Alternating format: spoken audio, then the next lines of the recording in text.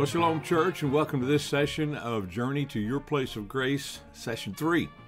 We're going to look at some more exciting things about what the Bible has to say about our journey to our place of grace and about where that place is and what happens when we get there, how God will use us in some incredible ways. I wanted to review a little bit from last week. We finished talking about the idea of peace. What is peace?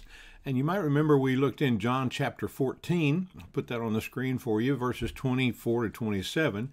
And Jesus made this comment to his disciples. He says, Peace I leave with you, my peace I give to you. Not as the world gives do I give it to you. Let not your heart be troubled, neither let it be afraid. Well, I love that verse, and I love that verse because the verse actually creates a question. It, he tells us he's going to give us peace, but then there's a question that remains afterwards because he talked about a different kind of peace other than that that he was going to give us. So if we stop and look at that verse real closely, we're going to recognize that there obviously are at least two kinds of peace in the world. And so what are they exactly? Well, when Jesus said he wanted to give us his peace, that tells us that there's probably something heavenly about it. There's something of a godly nature about his peace. And you might remember a little later on in the New Testament, the Bible tells us that Jesus came to destroy the works of the devil. And so we talked a lot last week about this word shalom, which is the Hebrew word for peace, and how functionally what it means is to destroy the authority that establishes chaos in our life. Well, that's a very important thought, and I want to really drive it home with you before we move into the second half of this seminar, because the peace of Jesus, the shalom of Jesus, means that he comes to destroy the work of the enemy in our lives. Whatever it is that the enemy wants to do in our lives, Jesus came to destroy it. And when he was on the cross, you might remember, he said, It is finished. Therefore, there should be some finished nature about the work of Jesus as it applies to our lives when it comes to this idea of destroying the work of Satan and providing us his peace.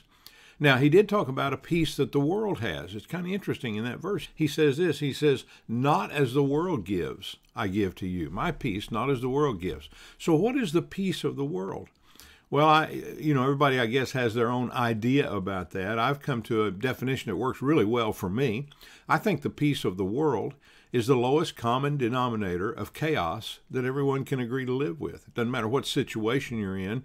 When we have uh, domestic situations where people make peace, but what they decide to do is, I'm not going to totally give in to your wishes. And the other person says, Well, I'm not going to give in to totally to your wishes. And so we're going to discover some area here where we can agree to disagree. You've heard that term before. Well, that's not true peace because it doesn't last, it never lasts. The only peace that lasts is the peace that Jesus gives us. Now, it's very interesting when we talk about peace we want to look for some other scriptures. You know, one of the things we do, the Bible is its own best commentary. So when we talk about something in the Bible, we want to always make sure that we have other scriptures to filter it through so that we know we have a balanced view of what the Word of God is talking about. And so when it comes to peace in the scripture, we need to remember that admonition that if we want the peace of God, we've got to have peace with God. We can't have the peace of God until we've made peace with God. How do we do that? Well, the Bible calls that reconciliation. It calls it redemption. It calls it salvation. In other words, this process by which God says, I want to reconcile you. I want to redeem you from a life of sin and bring you back to my intention as it was with Adam in the garden. Now, remember, Adam was created in the image of God, and so we know that, that he was sinless. But something happened there, and because of that, you and I have to deal with this issue in our lives. That's called redemption. That's called salvation. And we reconcile with God. And when we do that, then we can have His peace. But not until we make peace with Him. You see the difference in those two? And so Jesus talks about this, and it's very important as we move on in our seminar about talking about the grace of God that we understand that His grace operates in a peace environment in a godly peace environment. And if we don't have that godly peace environment, it's going to be difficult for us to function properly in the place of grace that He has for us. Let's look at a good example of that. Anytime you have a question in the scripture, I always like to go back to Genesis because that's where all the themes in the Bible start, you might remember. In the first 11 chapters of Genesis, every theme of the Bible has its beginning. And so, if you want to begin to study some particular theme, whether it's creation, or whether it's salvation, whether it's God's plan for man, whatever it might be, it starts in the book of Genesis and generally right there in the first 11 chapters. And in the first 11 chapters, one of the first things we discover in Genesis 1 and 2 is God's creation.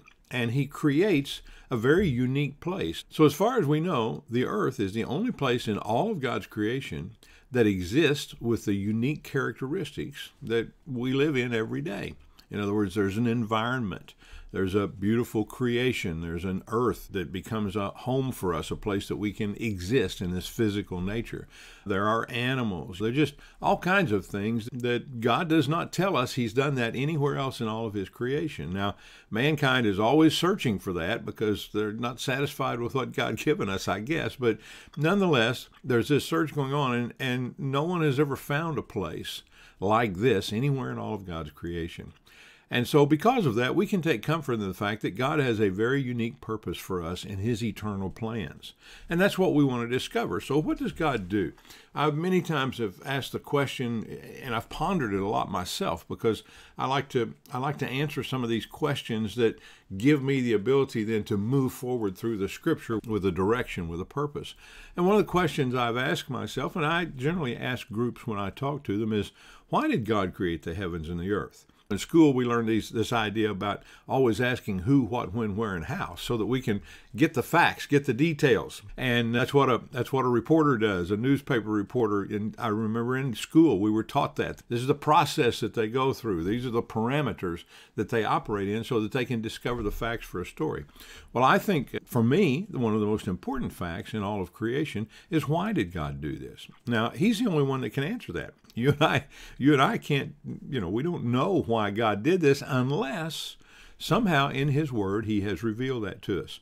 And once again, one of those scriptures that we're building our study on is, is found in Proverbs, where Solomon says the glory of God to conceal a matter, but it's the glory of kings to search it out. And so I think that when we have a question like this, I think it's a good question. I think it's a godly question.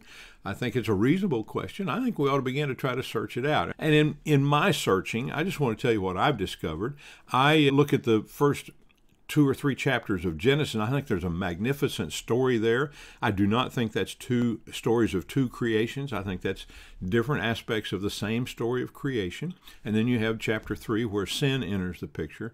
But in the process of that, I asked myself, well, God, why did you do this? And then he begins to describe what he did.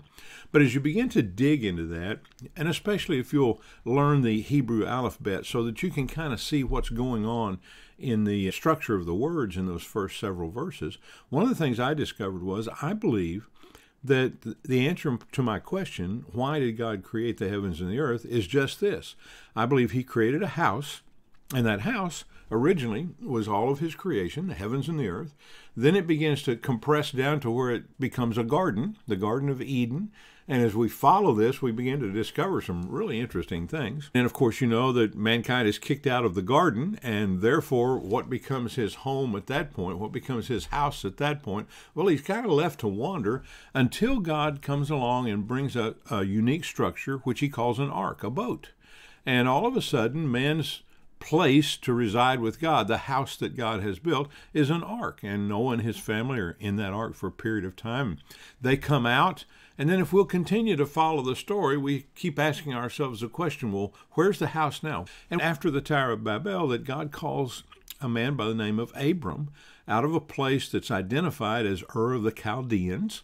We know that that's modern day Iraq, the southern part of modern day Iraq. And he calls Abram to leave his home, leave his family, and go to a place that he will be shown, and that that will become a eternal inheritance for him and for his offspring. And so we follow the story of Abram, and where does he end up? He ends up in Canaan land, makes a sojourn down to Egypt, which, by the way, becomes an interesting part of the story. But now, all of a sudden, this family of Abram becomes literally the house of God on the earth. That's where God is communing with man. That's where he's working out his eternal plan for mankind. And so uh, Abram has children. He has Isaac, and Isaac becomes the son of promise. Isaac then has a son named Jacob. And you know the story. Jacob has 12 sons. Those 12 sons become the tribes of Israel. So at this point, the house is solidified into a nation that we identify as Israel. Uh, God changed Jacob's name to Israel, and he said, Because you wrestle with me, this is going to be your name. And then the whole nation takes on that name. So Israel functions and, and ends up in Egypt for 430 years. They have this incredible deliverance through the Red Sea. It starts at Passover, and, and it's the most miraculous thing in all of the Bible we find, that except for the resurrection itself, that God delivers them out of Egypt and, and he takes them out into the wilderness for 40 years. Then he moves them into Canaan land, and he begins to build a nation out of them. Well, in the process of, of wandering out there, they build something called a tabernacle. God says, I, I want you to build a house where my presence will be. And so the tabernacle all of a sudden now has taken this this place as the house that God is building. And that's where his presence, he says, I'll be in the cloud over the tabernacle. And so they experience that for 40 years, and then they move into Canaan land, and they end up, after a series of military conquests where they capture different parts of the land so that they can begin to call it their home and live there, they end up in a place called Shiloh. And in Shiloh, they spend the better part of 300 years, and they take the tabernacle there, and that becomes the seat of their worship, if you will. That tabernacle, in, some form or fashion, lasted for virtually 300 years until David moves it to Jerusalem. And we know the story there that then that tabernacle evolves into a temple. Solomon builds a temple, and that temple was the focal point of Israel's communication with God, of their communing with God, all the way up until Christ comes. And when he comes, things begin to change rapidly. And of course, you'll know that, that in AD 70, some, some 35 or 40 years after he was crucified, the temple's destroyed and it no longer it no longer plays a part in God's place with man. But the Apostle Paul straightens that out for us and he says, Well, we've still got a house. We've still got a house. Don't you know that you are the temple of the Holy Spirit. And so, what's God done? He, he has this whole history of several millennia where he says, I'm going to create a house, and that house begins to evolve, but the purpose in that house is always to be a place where man can commune with God. It's okay. Well, there's our first step to why God did this. And so he built a house. Well, once you have a house, what do you need? You need a resident. And so God built a house to put mankind in. He started with Adam. Mr. and Mrs. Adam later became Adam and Eve because she became the mother of all living. And then we have these generations that began to pass on. And the, and the Bible recounts much of that story not of all of the nations, but particularly of the lineage that God is going to follow through the entire story of the Scripture to bring us to a place where He can reconcile us. Remember, that was our objective to find His peace. So we've got a house and we've got a resident, man. So God built a house to put mankind in. Why did He do that? What's the objective here? Well, we find beginning right there in the book of Genesis, the very first two chapters, that God makes a covenant with Adam. And then, as we continue to study the scripture, we, we determine that God's relationship with man becomes covenantal. In other words, he makes a series of covenants throughout the history of his relationship with man. And we now live under a covenant called the New Testament. And that covenant, it was all brought about by the sacrifice, the execution of Jesus Christ, the only begotten Son of God, on a cross called Calvary in the land of Canaan, in Jerusalem, which we now call modern day Israel. And as he died on the cross, the story is explicitly clear. He died on the cross so that our sins could be forgiven, not just covered over as they did when they had all of this sacrificial system with the blood of animals, but totally forgiven because the sacrifice now was a human man called Jesus Christ who was also fully God, and therefore he was sinless. And so we have now a sinless sacrifice that's been made for our sins. What a story. What an incredible story. And so if you look at the panorama of the Bible, the entire story from Genesis to now, it tells a very specific journey that God has brought mankind on to bring us to a place where he could be reconciled with us. Now, it raises a lot of other questions if you'll begin to contemplate that, such as, well, why did he let evil come in in the first place? You know, what's all this business about the devil? Uh, he's not equal to God. He's not equal to Jesus. Why did God give him the authority that he gave him? All of those questions, many of which I firmly believe we're going to have to save until we get to until we get to heaven, until we get to glory. But we've been given many answers along the way, and as we talked about this at our at our study last Wednesday, I, I love the answer that one young lady gave. She said, "Well, it's simple. It's so that we could know God's love." And I think that's one of the deepest answers that we're ever going to find in all of Scripture and all of our relationship with God. He did everything He did so that we could comprehend how much He loves us. That's just, isn't that incredible? It's just absolutely incredible. So I want to show you on the screen this series of gardens. I have a I have a picture here that someone's painted themselves, which looks like a maybe an idea of what the Garden of Eden may have looked like. But by the same token, I think the Garden of Eden was probably a little more than we than we have given it credit for being. I, you see here a, a, garden that's out in somebody's backyard, and they're out there tending and trying to pick the okra and pick the tomatoes and and the beans and all these kinds of things. I do not think that that is what the Garden of Eden was all about. I, I know it was there for food because as we read the text, God says, You've got everything here you need, it's all yours. But then the story goes on a little further, and God gives Adam some specific instructions about the garden. And so I think the garden was a gorgeous place, a beautiful place. I think it was full of peace. There was obviously no sin in the garden. There, in fact, there was no death in the garden. So everything just continued to, to live and blossom and bloom. And so there wouldn't have been a need to replant things and, and, and to take out old bushes when they died and things. So, so we have to ask ourselves, well, what exactly was Adam doing in the garden? Many of you may be familiar with uh, this idea of European gardens, where in, in Europe and during a certain period of time, and there's still a lot there now, they built these magnificent areas of lush, lush vegetation where people could just gather and visit and find a place of solace, a place of peace. The picture on your screen is actually in Israel. It's in Haifa, Israel. And on the first trip that Claudia and I took to Israel, we, we went by this place. We saw this scene and that is the uh, University of Baha'i, I think they call it. But they have built this beautiful garden setting that you can walk out in and, and just relax and meditate, do you know, do whatever. I think the Garden of Eden was something that we've probably never really contemplated before. Let's read the text and see where it takes us. Genesis chapter 2, verses 15 to 17 says this Then the Lord God took the man and put him in the Garden of Eden to tend and keep it. And the Lord God commanded the man, saying, Of every tree of the garden you may freely eat, but of the tree of the knowledge of good and evil you shall not eat. For in the day that you eat of it, you shall surely die. And so God puts Adam and Eve in this garden. He says, Hey, everything here is for you to enjoy.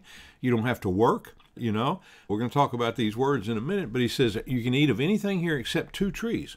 And if you eat of those two trees, then there's going to be a penalty for that a Bible study one morning, years, but several years back, and someone was reading this verse. It was a men's group on a Saturday morning, and, and as they came to the last portion of this verse where God says, You shall surely die, the thought struck me. I'd been studying a little bit through Genesis, just trying to understand it better, and the thought occurred to me Adam didn't die for at least 900 years after this.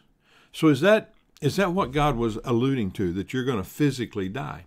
So I began to do one of those things that I encourage everyone to do is find those things that God has concealed in the scripture and let him reveal them to us as we dig and as we study and as we ask him questions.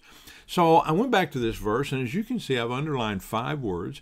I've underlined garden, Eden, tend, keep and die as I read through this this particular scripture, those stood out to me, and I thought, well, maybe if I could study those words, I'll just do a word study on each of those words and see what God will reveal to me. So I began to do that, and I discovered something very interesting. In Hebrew, the word garden is gan. It's a two-letter word as we as we translate it or transliterated into English, gimel and a nun.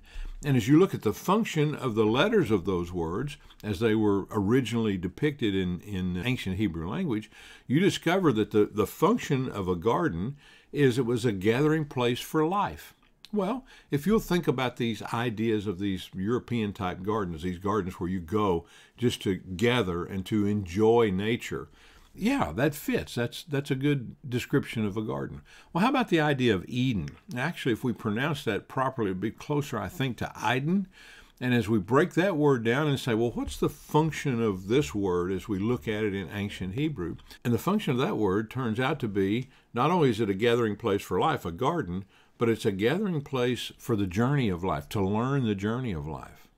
I thought, well, now that's interesting. If if that was God's intent when he made this garden to create a place, he knows that, that he's going to have more people because what does he tell Adam and Eve? He says, Be fruitful and multiply and take dominion.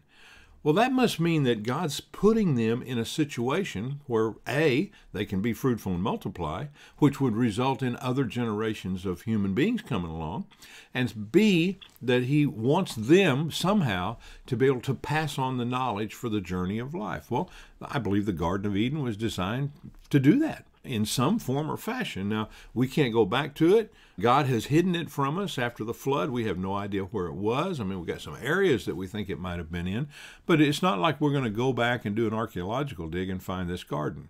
That's past. So we've got to take what God gives us. So let's move on to the next step. He gives Adam instructions. He says, I want you to tend and keep this garden. Now, you and I automatically, when we hear that in English rendition of those Hebrew words, we think, well, yeah, you know, Adam's supposed to go out there and he's supposed to take his hoe and his rake and he's supposed to go out and cultivate, he's supposed to plant some seeds. But there's no indication in the scripture that that was the task that Adam was given. As a matter of fact, I contend that if we look at those words, we discover something interesting. And I believe Adam's assignment to tend and to keep in the garden, which was a gathering place for life, where the knowledge for the journey of life was located, I believe his assignment was administrative and not agricultural. Now, let me explain that. I don't think that Adam wore coveralls and had a little John Deere tractor or lawnmower that he rode on, all these tools and implements. I think that Adam's responsibility was to administrate what went on in this garden, and that his future generations were to use this garden. This is a this is a a ground zero, if you will. This is this is central where they would come back and Adam would have the wisdom and the knowledge for the journey of life. Well, we know that Adam was extremely intelligent because we've already found out that God has allowed him to name every animal. And by the way, that was just not a, well, I'm going to call that one a lizard and I'm going to call that one a bird. No, Hebrew names are always given according to character. We, we see that in the Bible. People are not named in ancient times in, in that part of the world, in those cultures, until they found out what their character was going to be. And so, time and time again, we see names in the Old Testament, we think, well, that, yeah, that person acts that way if we look at the meaning of the name. And so, I believe the same thing applies to the animals. And, and when Adam named them, he knew their character. Now, the Bible indicates that this all took place within a day's time. And if that's the case, then Adam, first of all, had to be incredibly intelligent.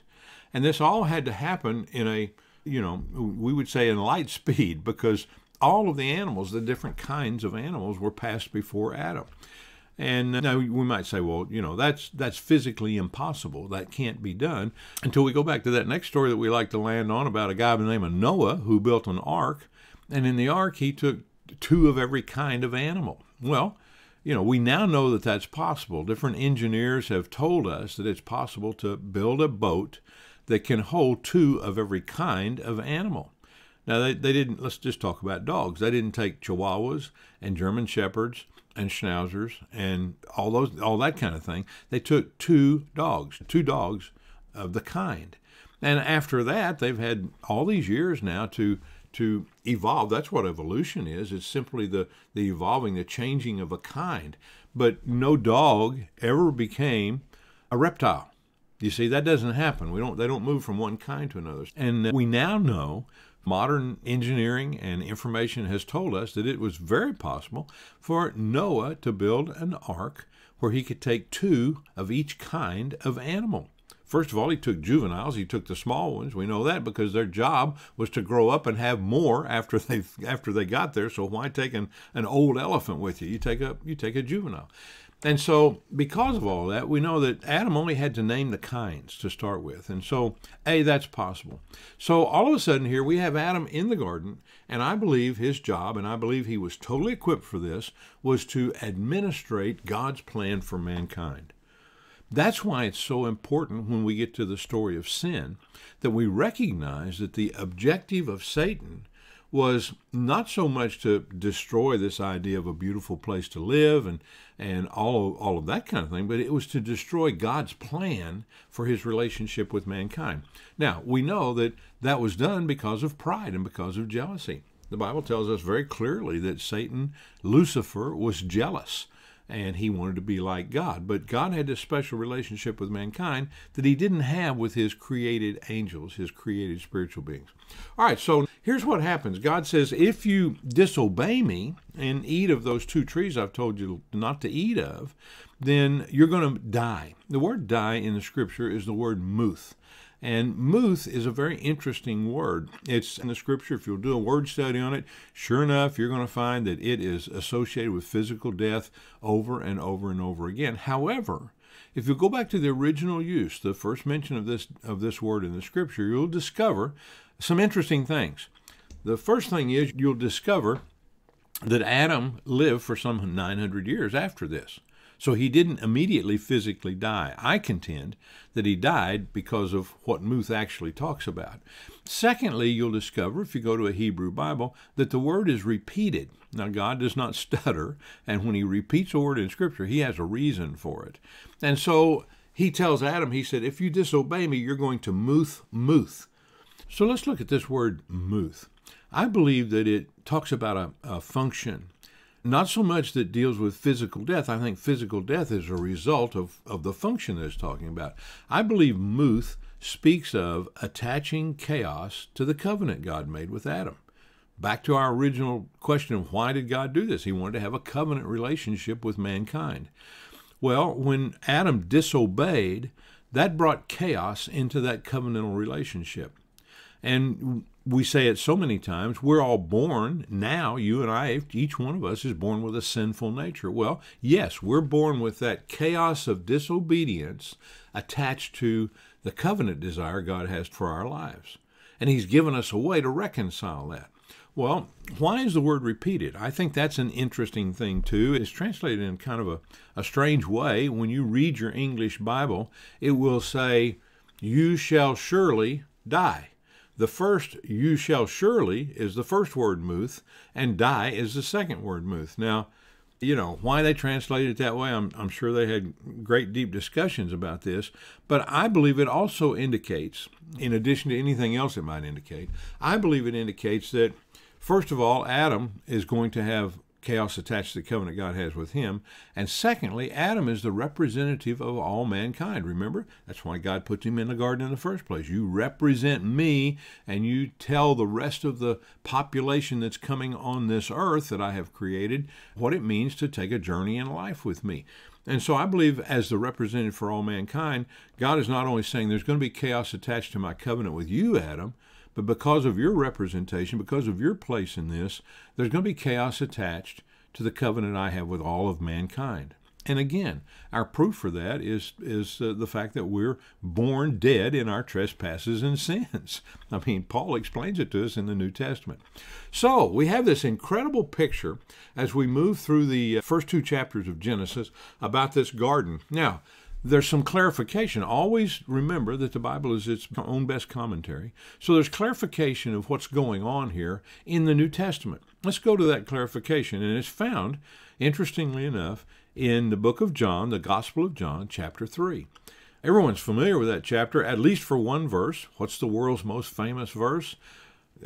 Yeah, for God so loved the world that he gave his only begotten Son, that whosoever believes in him should have eternal life. Well, that's one verse in, in that entire chapter, and that chapter is a conversation that Jesus is having with a religious leader of Israel named Nicodemus. He's a Pharisee, and he's been observing what Jesus is doing and teaching, and he comes to Jesus by night. He does that because he, he wants to slip in, kind of stealth, and talk to Jesus and try to get some answers about all this, but he doesn't want anybody to know he's doing it. And so that means that he's kind of straddling the fence here. He's got, he's he's confused, but he thinks there's something there he needs to know, he needs to understand. Have you ever kind of been in one of those places? So Nicodemus visits Jesus in John chapter 3, and Jesus begins to explain to him. He he says, you know, Jesus, what's this you're talking about? You've got to be born again or born anew or born from above. That's translated different ways in in different versions of, of the Bible. And as is his custom, Jesus answers Nicodemus in a rather interesting way. He says, Well, Nicodemus, you're a, you're a spiritual leader of Israel and you don't understand these things? And so as the as the conversation unfolds, we now have John 3:16, we have John 3:17 by the way, which also tells us that Jesus did not come into the world to condemn the world, but through him the world might be saved. So that sheds some light on our original story. Why is there a need for salvation? There's a need for salvation because chaos was attached to the covenant that mankind has with God.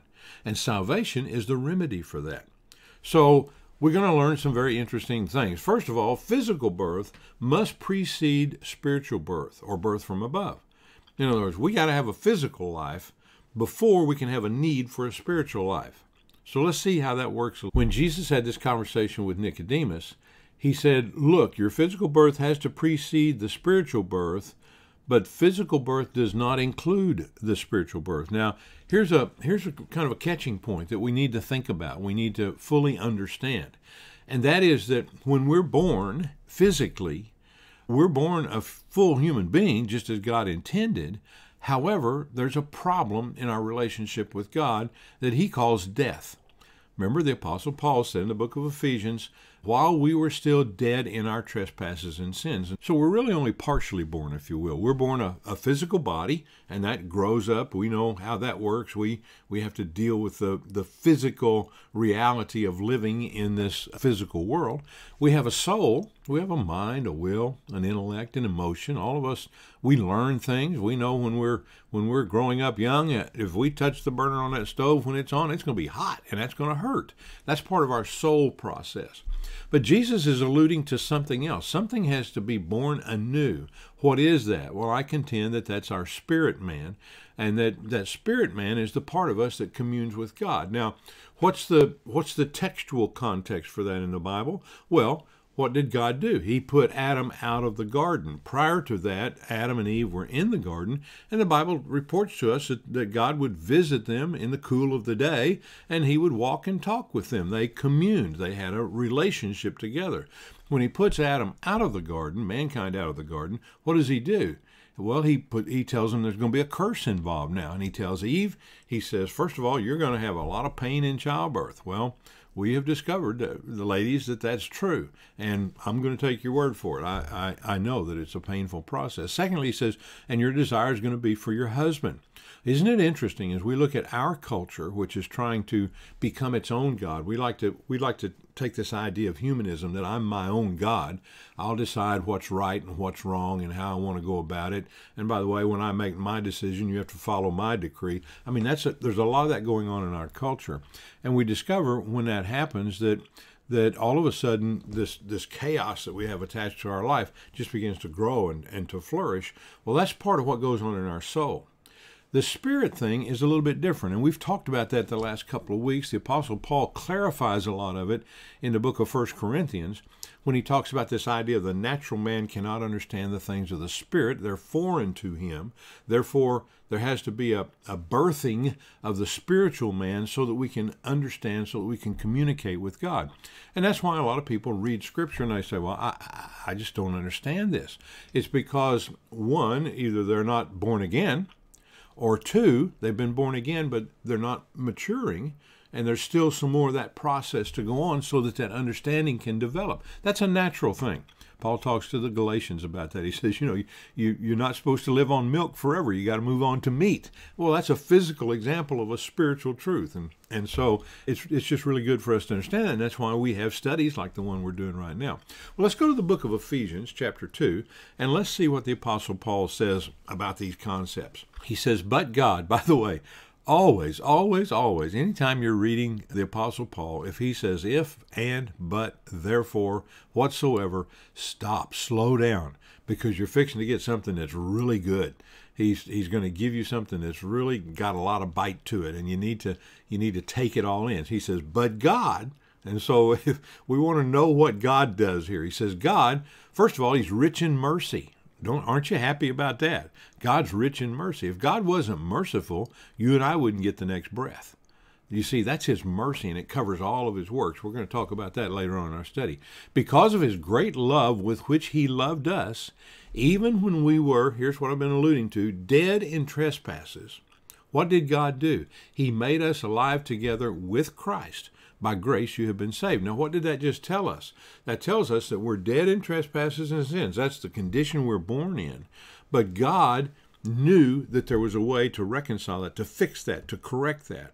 And so, what is that way? He makes us alive when we're together with Christ. If we're not together with Christ, then there's no solution to our death and our trespasses and sins. And by the way, he ties that to this idea of grace, and that's going to be very interesting as we continue our study. And it says, he raised us up together and made us sit together in the heavenly places in Christ Jesus. Now, this is one of those this is one of those verses that Paul was alluding to when he says the mind of natural man can't understand the things of the spirit. What he's telling us here in the book of Ephesians is that at the same time we're having this study, we're doing it in an earthly setting, whether you're live in a study or whether you're looking at it by video, you know, this modern technology that we have. At the same time, if we're in Christ, if we're enjoying our salvation, if, if we have said yes to Jesus Christ and his blood has been appropriated towards our sin, then somehow we're seated in heavenly places. Well, I contend that the only way we can benefit from that kind of relationship is in a spiritual setting. We can't, you know, physically, we, you know, we're we're still here on the earth, but he tells us we're seated with Christ in the heavenly places. He goes on to say this: there's a reason for it.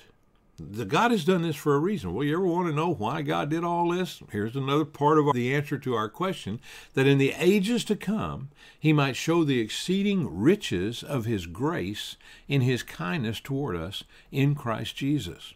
Now, this is one of those places that, that I contend that there's more to God's grace than just unmerited favor. Because, I mean, God can just, He can show in the ages to come that he forgave us and that he's going to go ahead and let us come to heaven anyway. But I think there's much more to it, you see, because he wanted a relationship where he had a covenant setting with man. And so there, that's a two way deal. It's not just that we got saved and therefore we're going to heaven. So let's continue to see what God says about this.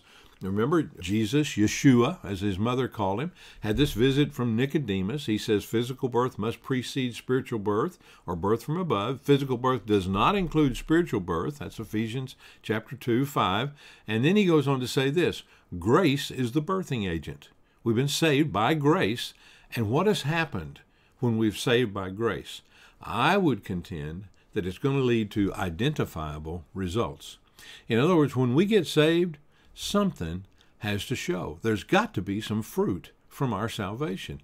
Jesus said that. He said, You judge a tree by its fruit. So if we don't have fruit of our salvation, if something doesn't happen in our life that that changes us from having a, a unction toward the ungodly to having a desire for the godly, and also to having a lifestyle that comes from godliness, then we have to ask ourselves the question Have we been saved? And if not, we need to deal with that. There's there's a way to deal with that. Let's go on to 2 Corinthians chapter 8 verses 6 and 7. This is Paul writing to uh, the Corinthian church and there's a guy there by the name of Titus. It's one of Paul's disciples and he has a message for him. He says, "So we urge Titus that as he had begun, so he would also complete this grace in you as well." Now, Titus is not the one that's bringing unmerited favor to the Corinthians. God's the one that's giving the favor. Titus is simply bringing some kind of a message. Well, his bringing of the message is a grace that Paul is referring to. So there's some ability, there's some empowerment that Titus has in this situation to carry this message of grace, to, to bring about this idea, this concept of grace in the lives of those that are listening. He said, But as you abound in everything, listen to this, in faith, in speech, in knowledge, in all diligence, and in your love for us. So listen, if we want to be abounding in uh, in God's things, here's a pretty good outline for us. We need to have faith. We need to watch our words. Remember, what does the Bible tell us? It says, out of the abundance of the heart, the mouth speaks. So listen to what you say. That'll tell you what your heart's thinking. And by the way, not just when you're at church. we got to listen 24 7 because those things that come out of our mouth when we're not in the presence of God's people are what are the things that are down deep in our heart. And that's what needs to be dealt with. In knowledge, that's what we're doing right now. We're gaining knowledge about what God's will for our lives is. In diligence, we need to be diligent about what we do. We can't just hit and miss.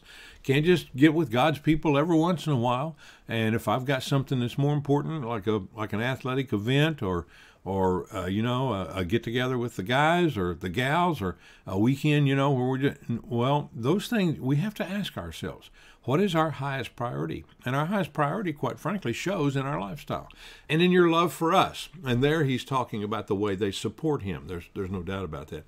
He but he gives them this admonition. He says see that you abound in this grace also. Well what is this grace well, it's the bringing and enacting of this message of God's plan to people because that's what Titus was doing. That's been identified as Titus's gracing. And now he's telling them, you've got all these tools to work with. You're supposed to be gracing others also. So this is a this is a perpetual thing. It just continues to multiply itself. So this is pretty good. Uh, this is pretty good advice for us. So, what's the solution? Well, quite simply, the solution is to detach the chaos from our covenant and reconcile with God, and then live a godly lifestyle so that the chaos doesn't keep coming back and trying to reattach again. And the process to do that is called redemption. Now, I know that that's a big Bible word, and we're going to look a little deeper into what redemption means, redeem, and what the actual concept behind it is. But what happens is when we're redeemed, when we go through this process of redemption with God, He buys us back, as it were, into His total possession, then the process is grace. We're now in a state of grace.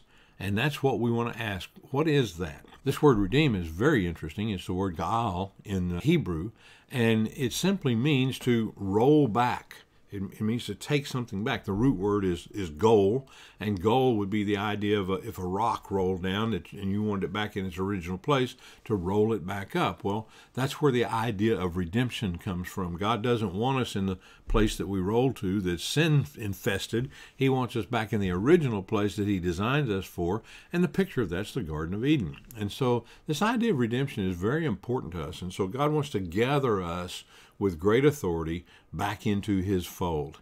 And that's why we have all these pictures of shepherds and sheep and all these different things. Isn't, isn't that great? Well, we're going to move now. We're going to start moving now a little deeper into our idea of what is grace. And grace in the Hebrew is the word chen. And by the way, in the in the New Testament, in the Greek version, it's the word charis. And how is that generally translated? Well, it's translated as gifts or grace. different terms, but it's the same Greek word. When Paul talks about the gifts of the Spirit in 1 Corinthians 12, we look in Romans chapter 12, we look in Ephesians chapter 4, all these places that we find gifts, those are grace, that's charis. And in the Old Testament, it's called chen. Noah found chen in the face of the Lord. In other words, God gave him favor, gave him grace. What was that? What happened there? And so we want to look at that. And, and as we do, we're going to find that the function of this is all built around the idea of offense and life. And the idea of offense is that God is going to give us an assigned area where He's going to enhance our life to do what He's called us to do and to be who He created us to be. And the interesting thing is, we're going to find, in no uncertain terms, that God has obligated Himself to provide everything we need to do that. He doesn't say, well, here's your assignment, go get it done.